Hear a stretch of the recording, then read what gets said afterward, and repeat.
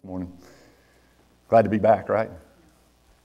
I want to address this subject with you this morning fishing and following. Fishing and following. Is there any sermon more fitting for me to preach to you than this one?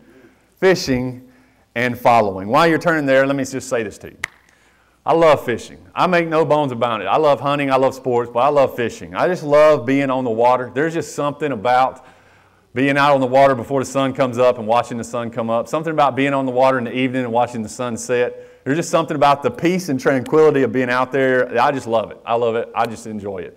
But if I started this morning's sermon by telling you fishing stories, I probably wouldn't know where to stop. I could probably keep telling story after story. So what I'll do is I'll just start this morning's sermon by showing you a picture. So, you know, you can give me this picture. I want you to see this picture right here. So, that is me and my sister. Oh man, I had a lot of hair back then. That is me and my sister. The very first time my dad ever took me fishing at this little farm pond there in my hometown. Let the record show my fish is bigger than my sister's. Let's be real clear about that. In case my sister watches this online, um, my fish is bigger than hers. She may be better than me at everything in this whole, in this whole world, but she cannot outfish me. And it has been proven since I was four to today. From that day to, to now, I have loved fishing. I have loved it. I have enjoyed it. Even this past week, took my dad to Tennessee for his 72nd birthday. Took him fishing. He actually caught the biggest fish of his life. I love to fish. And when Jesus uses an analogy about fishing, he's got me hooked. Y'all see what I did there? I worked on that one all week, y'all. Come on, man. So let's stand together this morning as we read Mark chapter 1. I'm going to read verses 14 through 20, and we're going to address this subject fishing and following. Mark chapter 1, verses 14 through 20. Now, after John was put in prison, Jesus came to Galilee preaching the gospel of the kingdom of God and saying, The time is fulfilled and the kingdom of God is at hand. Repent and believe the gospel. As he walked by the Sea of Galilee, he saw Simon and Andrew, his brother, casting a net into the sea, for they were fishermen. Then Jesus said to them, Follow me, and I will make you become fishers of men. Then immediately they left their nets and followed him. When he had gone a little farther from there, he saw James, the son of Zebedee, and John, his brother, who were, who were in the boat mending their nets.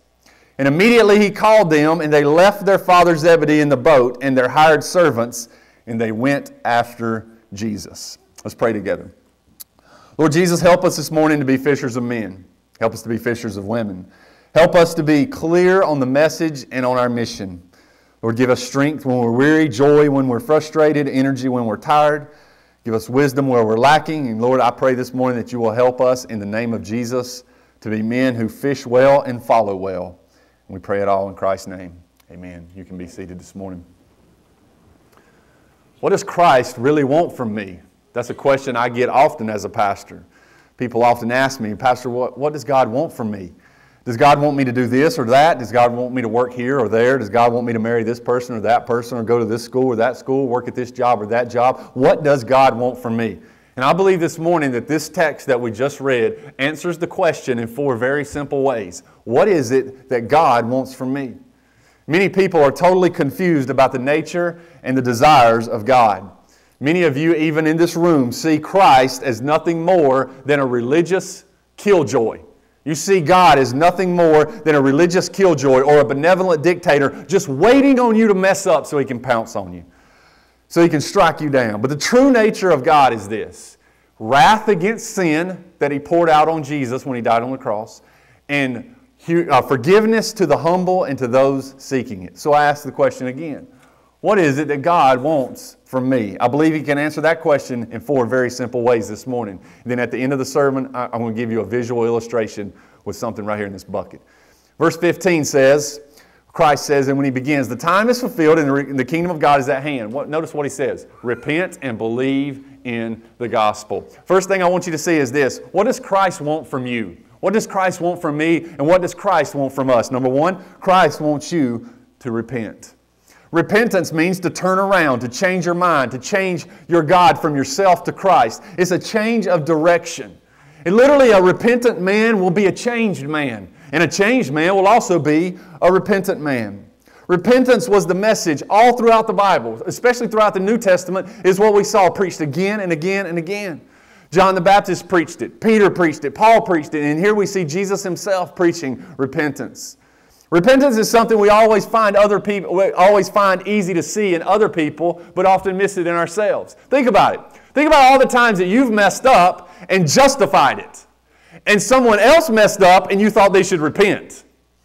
Do you see how that works? You see how quickly we want to justify our own mistakes, but we quickly think others should repent. Repentance is something we need to capture, and repentance is an attitude we need to live in, recognizing that God is in control and we are not. Listen to what Peter said. Listen to this verse. 2 Peter 3 9 says this God is patient with you, not willing that any should perish, but that all should come to repentance.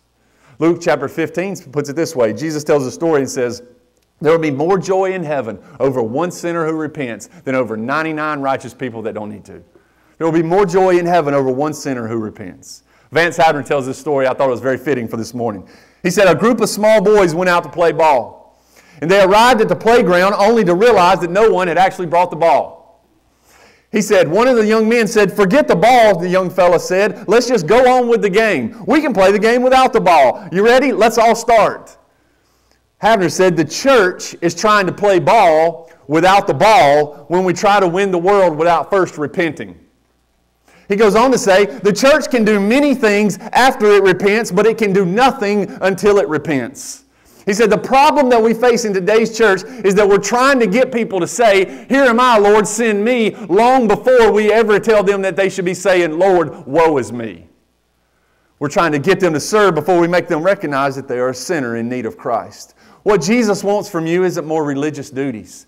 What Jesus wants from you is a broken heart over sin that leads to repentance that results in a changed life. Let me say that again. What Jesus wants from you isn't more religious duties. He wants a broken heart over sin that leads to repentance and results in a changed life. A man who claims to walk with Christ and yet glories in his sin does not walk with Christ and doesn't understand the damning nature of his sin. Repent today, church, for tomorrow may be too late. Repent in this service, you're not guaranteed another one. Repent and turn from your sin and trust Christ today and let yesterday go. Some of you in this room may very well go to hell because your pride will keep you from repentance. Some of you in this room, may, your pride may be so ripe. Your pride may be so overbearing. Your pride may be so, re- so relevant in your heart that you miss your own need for repentance. Christ didn't die so you could go to heaven while you continue to live in your sin. Christ, Christ died so that He could change you, that you could repent of your sin and turn to Him. Number one, what does Christ want from you? He wants you to repent. Number two, what does Christ want from you? And look at the second half of the verse. The time is fulfilled, the kingdom of God is at hand. Repent and believe the gospel. Number one, he wants you to repent. Number two, he wants you to believe. Believe what? I hear you, Pastor. I'm supposed to believe. I do believe. That's why I'm here. Don't you see us here? Of course we're here. We're here because we believe. We're here so that we'll believe. But believe what? He says here, believe in the gospel, which is essentially the same thing as saying, believe in me. The gospel means good news. So when Jesus says believe in the gospel, he is saying believe in me. I'm the good news that you need. You do realize today that we live in a world overrun with bad news. Overrun with bad news. Ah, let, me, let me take it a step further. You care if I get on a soapbox for just a minute? Y'all care? It don't matter if you care anyway. I'm going to do it anyway, right? We don't even know if the news is true. Can you, we live in a world where we don't even know if what we're hearing is the truth. So when Jesus says, believe in me, He's saying, believe in the gospel. He's saying, believe in me. And He is good news. So tonight, if you go home and watch the 6 o'clock news and you go, I don't know if any of this is true, the good news is that Jesus will save you. That's the good news. Regardless of what we hear in this world or see in this world, and regardless of what we have to navigate through to pick and choose to figure out what is or what isn't truth, you can rest in this fact. It is good news. The gospel of Jesus is good news that he will save you today. John 3:16, the most famous verse in the Bible, puts it this way: For God so loved the world that he gave his only begotten son, watch this, that whoever would believe in him would have everlasting life. Too often we believe in the things of religion Too often we believe in the duties of the church. Too often we believe in the programs of the church or the place of the church, but Jesus made it clear that we are to believe in Him. When I grew up, my daddy used to make me listen to these Jerry Clower tapes. Y'all know who Jerry Clower is? A couple of y'all do? If you don't, man, you, you're missing out on life. You hadn't lived yet. My dad had all his tapes, and he, had, he used to have this little truck, and he used to pack me and my sisters in there. And uh, this was, you know, before car seats were mandated. And put us all in this little truck, and he used to make us listen to these tapes over and over. And I'm like, Dad, we know the punchline. We've heard these tapes a thousand times. And my dad just laughed like he never heard it before. I take it some of y'all got a daddy like that, had a daddy like that. We had this one joke. Do y'all remember the story by any chance of Jerry Clower talking about baptizing the young man? He said, he tells a story and he says that the preacher had, was going to baptize this young guy, this young adult man. And the guy got in the baptistry pool and the preacher looked out at the congregation and he said, he looked at the young man and he said, Young man, do you believe? And he said, The young man opened his mouth to answer and before he could get it out, he put him under the water. He said he pulled him back up, and he said when he pulled him up, because he went under with his mouth open, he got water in his mouth. He said he come up and he's going, and he said, "Young man, do you believe?" And he said, so down he went with him again, pulled him back up a second time, and he said he's all choked up. Young man, do you believe? Down a third time, so stuck him under, pulled him back up. Young man, do you believe? I believe you're trying to kill me, preacher.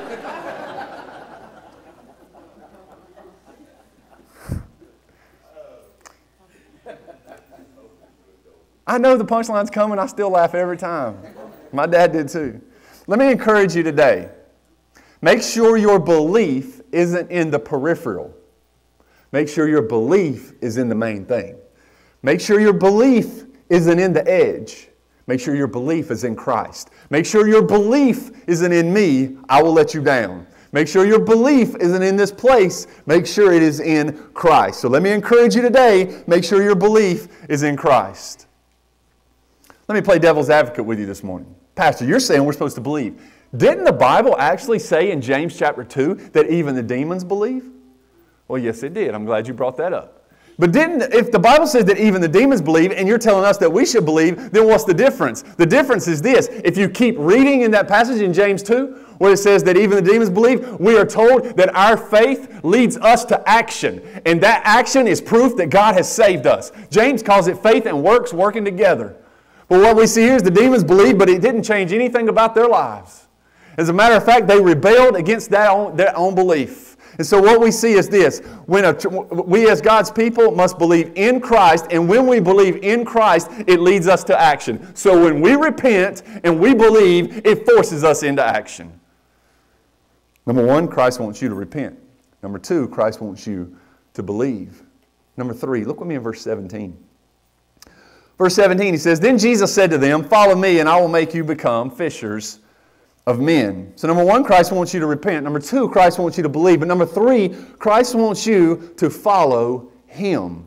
Verse 17, he said, Follow me, and I will make you become fishers of men. I want you to notice the guys he called. Did you pay any attention to, to Peter and Andrew and James and John? You'll catch anything about them here. These are average dudes.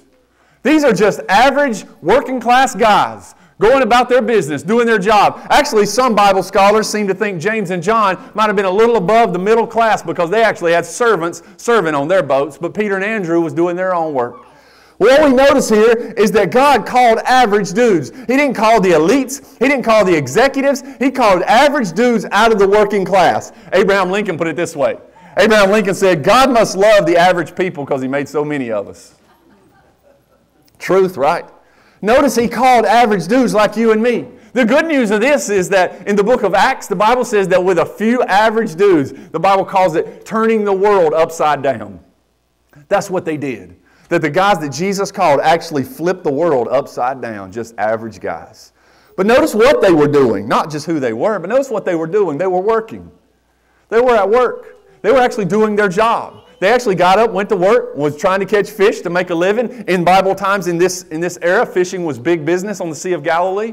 So they went to work, and God called them out of their work. So they didn't go to seminary and then come home, graduate, and sit around and say, All right, God, tell me what to do. They went to work, and God called them out of their work. God called them while they were at work. There's value in working. So notice who they were, average dudes. Notice what they were doing. They were working. But notice how God called them.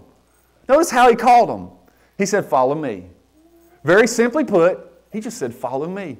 He didn't make it complicated. He didn't make it hard. He didn't add to it. He didn't add lib it. He didn't, uh, he didn't make it something they had to figure out. He just simply said, Follow me. I want you to think about this, church. How,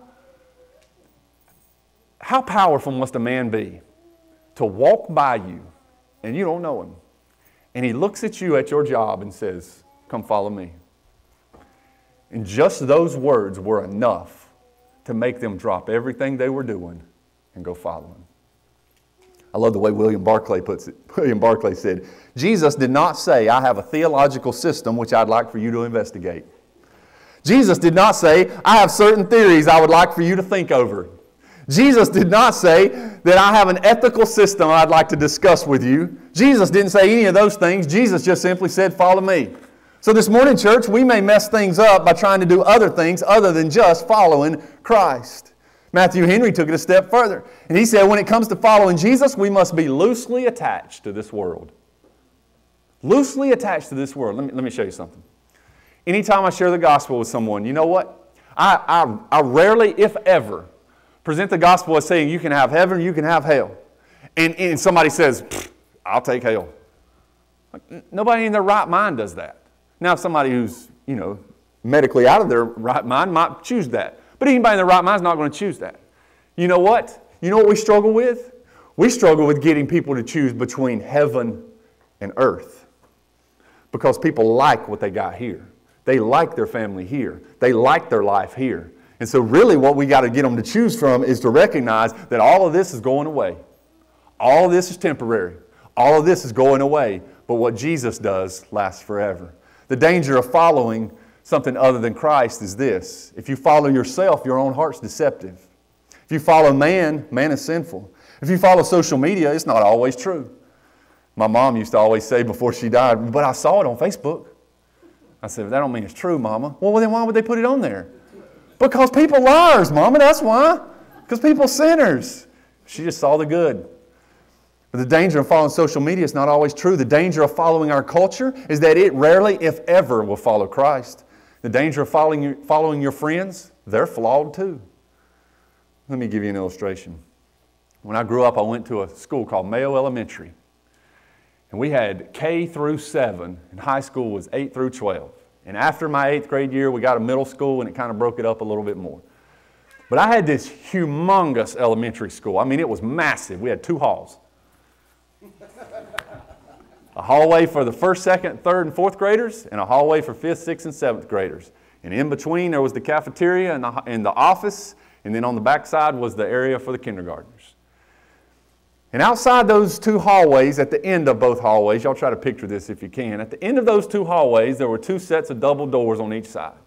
They give the little hallway one recess and the upper hallway the, another recess. And when we would come out of those doors at Mayo Elementary, now at the time it seemed gigantic. If I go back now, it's probably not nearly as big as I thought it was when I was a kid. But you come out those doors, and there's a space of about 15, 10, 15 yards, and then it's straight downhill. And down in this huge valley is the playground. Over here to the far right is where you can play football. Then there's a set of swings that run this way. Then there's a monkey bars right here, and there's this little fire truck you could play on. Then over here to the left, they had this thing called the Scout Tower. Don't even really know what it was, just a whole bunch of stuff you could climb on. And then over here was a basketball court, and behind it was a baseball field, and then just an open field that you could just run and play. But every kid that got their first recess of the day would usually be around 10, 10.30 in the morning.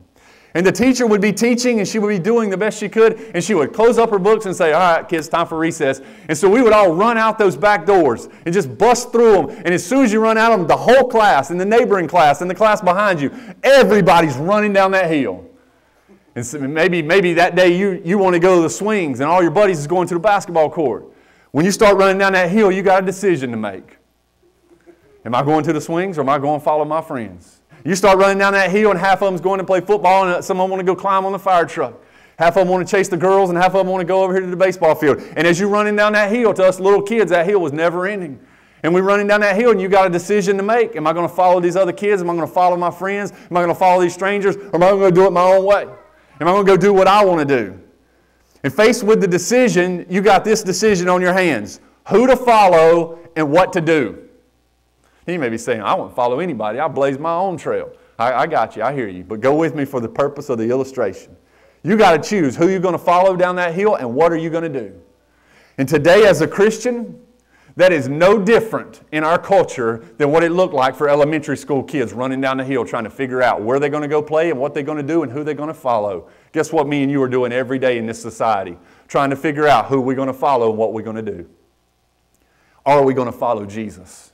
Are we going to follow Christ? And are we going to do what He said do? Number one, Christ wants you to repent of your sin. Number two, He wants you to believe in Him. Number three, He wants you to follow Him. Just simply follow Christ. Fourth, verse 17, He said, Not only follow me, but He said, I will make you become fishers of men. Number four, Christ wants you to fish for men. Or let me put it to you simply, or more simple Christ wants you to go fishing. Do you realize today God wants you to go fishing? So I, I said this in the first service in hopes that my wife would understand loud and clear. When I go fishing, I'm just doing God's work here, honey. This is, this is between me and God. But God wants you to go fishing because He says, I will make you become fishers of men. Listen, the souls of men and women is always the mission of the church. And far too many times we get sidetracked. Far too many times we get all worked up over something that's not the mission. And the mission is always souls, the souls of men and women. Not to preach an old sermon to you that I preached years ago, but the mission is fishing. That's the mission, church. The mission is fishing. Let me ask you this question. Let me, let me, let me pause so it can marinate a minute so you can think about it. If the church succeeds at anything other than reaching souls, then what did we really do? If the church succeeds at anything other than reaching souls, then what exactly did we succeed at? Jesus said, I will make you become fishers of men. That eliminates all your excuses this morning. You may be thinking, Pastor, I'd like to do what God told me to do, but I don't have time, I don't have the gifts, I don't have the resources, I can't do all this. Well, here's the beauty. Did you notice what Jesus said? He said, Follow me and I will make you become fishers of men. Jesus didn't say, Follow me and I hope that you'll become a fisher of men. Jesus didn't say, Follow me and maybe you got the gifts to be a fisher of men. Jesus said, Follow me and I will make you. And so what we see here is this. So you say, I don't have time. Christ will make a way. You say, I don't have the gift. Christ will make a way. I don't have the resources. Christ will make a way. I don't have the abilities to be a fisher of men. You don't have to have the abilities. God said He will make you into it. Church family, I can't stress this point enough to you today. The souls of men and women has to be our mission. And if it's not, then what exactly are we doing? I want you to notice a couple things with me from this text, from this verse, and I'm going to show you a visual illustration. Notice what happened in this text. Notice that Peter and Andrew left their nets to follow him. Look with me, if you will, in verse 16. And as he walked by the Sea of Galilee, verse 16, he saw Simon, that's Peter, and Andrew, his brother, casting a net into the sea, for they were fishermen. They left their nets to follow him. Why is that significant? This is all they had known. They've been fishing their whole life. This is all they knew was fishing, and they left it to follow Jesus. But then he says, if you, if you continue reading, that James and John left their father and their servants in the boat. So, first we see this. We see Peter and Andrew left the only thing they'd ever known for, for providing, for work, they left it to follow Jesus. Second, we see James and John, they left their father probably the most important person in their life. They left him to follow Jesus. They also left, it says, they left the other hired servants, their acquaintances, their old acquaintances. Everything, they left it for the cause of Christ. So you saying, Pastor, are you telling me I need to leave? Man, I was born and raised here in West Lincoln. I ain't going nowhere. I ain't leaving. I'm not asking you to leave here. I'm asking you, will you leave your sin? I'm asking you, will you leave your pride? Will you leave your gossip at the door? Will you leave all those things for the cause of Christ? But notice what happens here. In verse 16, there's a group casting a net. And in verse 19, there's a group mending a net. So what we have is one group trying to catch fish and the other group getting ready to catch fish. So when it comes to following Christ, we need to be reaching souls or getting ready to reach souls. or laying the foundation to reach souls. Let me give you a visual illustration here. So in this bucket, you, you, I don't know if you can see it all online. So here's a cast net. You know what a cast net is? You just you throw it out and it circles out and you catch bait fish or fish in it. So this is the smaller, uh, one, one of my smaller nets. It's a six foot net. It's supposed to be camouflaged, so when it goes in the water, the fish can't see it. It's got these weighted weights on it, so it'll sink. It's got this long rope, so you can pull it in. You know what? It opens six foot. You can throw it. You might catch a fish. You might not. You can throw it. You can get it hung. You can throw it. Maybe nothing happens. You pull up a bunch of algae. You may be looking at this net this morning and going, you know what, Pastor? If I were you, I wouldn't throw a six foot net. That's too small. I'd throw an eight foot. Or I'd learn to throw a 10 foot. I'd learn to throw a 12 foot. You won't even have to throw it one time. You throw that six foot like 100 times to catch fish. You learn to throw a 12 footer, you won't have to throw it once. You may be saying, but Pastor, I also think you ought to throw those white nets. It's clear. When it hits the water, you won't see it. That's what everybody at the beach does when I see them throwing it on the, on the shore. Pastor, you know what I think? I think those weights aren't heavy enough. If you got heavier weights, it'll sink faster. You'll catch more fish. You know what else I think? I think this rope right here, it tears up your hands. You need a smoother rope and it won't, it won't hurt your hands as bad. I get you. I hear that. You know what else I notice about this net?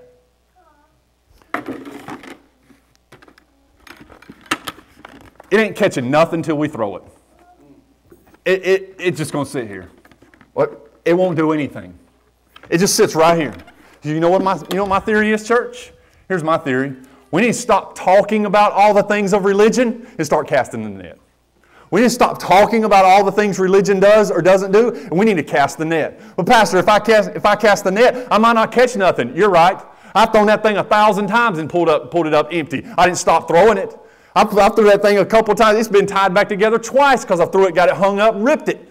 But guess what? I still throw it. At some point, you got to just throw the net. Yeah, sure, you might not catch nothing. You might only catch one. You might throw it a hundred times and catch one little bitty fish this big. You might, not, you might throw it a 100 times, and on the 101st time you throw it, you might catch more fish than you could ever even pull in. You need help to get it in the boat.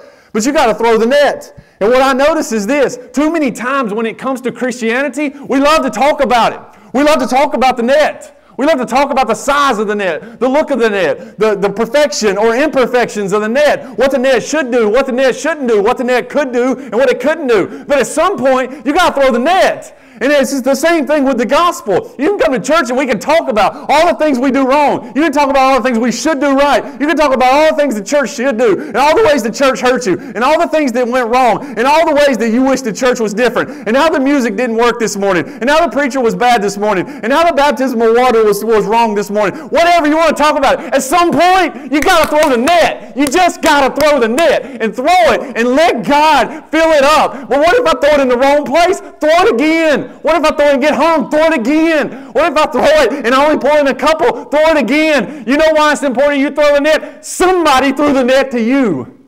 Somebody threw it to you. Somebody threw it and it called you.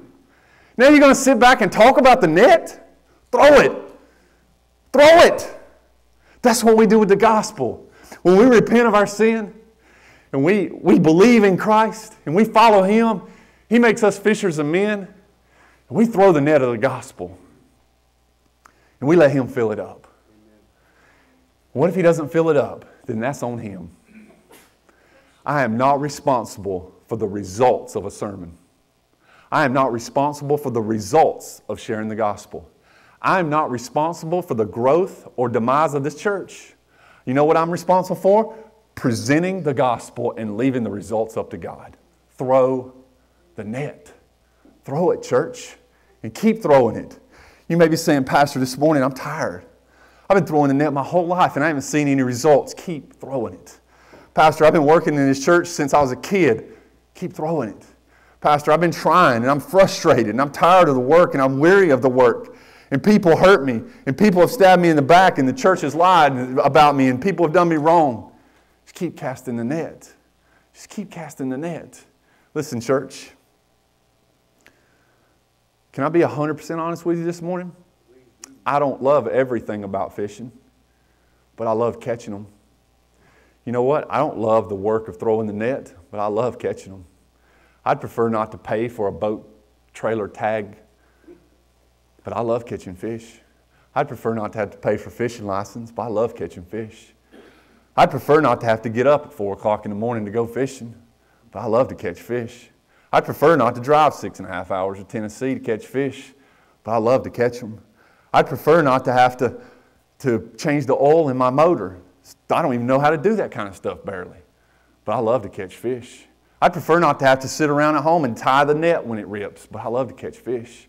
I'd prefer not to tie hooks, but I love to catch fish. I'd prefer not to have to stay out till 2 o'clock in the morning trying to find the right spot, but I love to catch fish.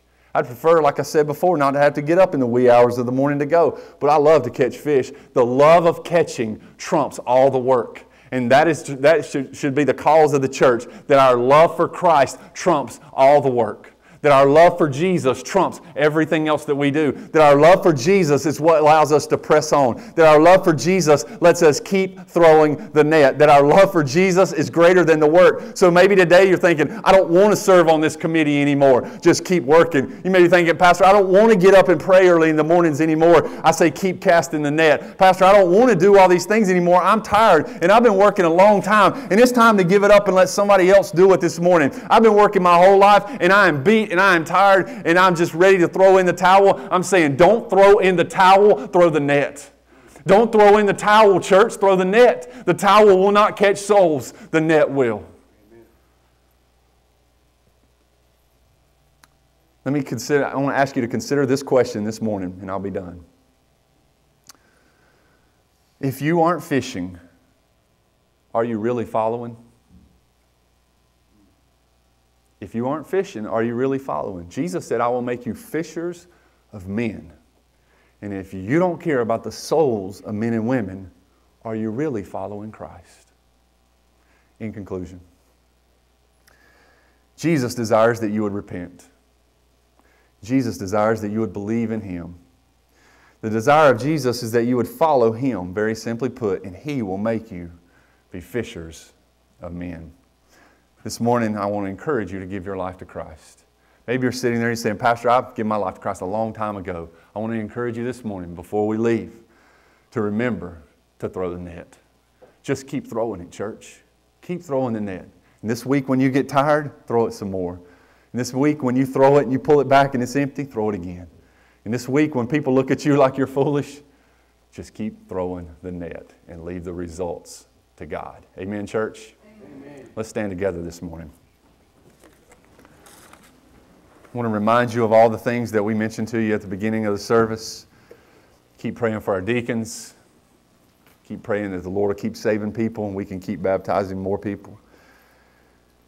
Keep supporting Christian ministries throughout the month of August. Keep praying for those new deacons that'll come on if you so agree with our current deacons. And this morning, I encourage you go out into this community Go to work this week. Go to school this week. Go back to your family. Go to your neighborhood. Keep casting the net. Let's pray together this morning. Lord Jesus, thank you for Mount Vernon. God, we confess, all of us in this room confess today that we're guilty of getting tired of throwing the net. Lord, I pray that you will help us to keep casting and leave the results up to you. We love you and we pray it all in Jesus' name. Amen.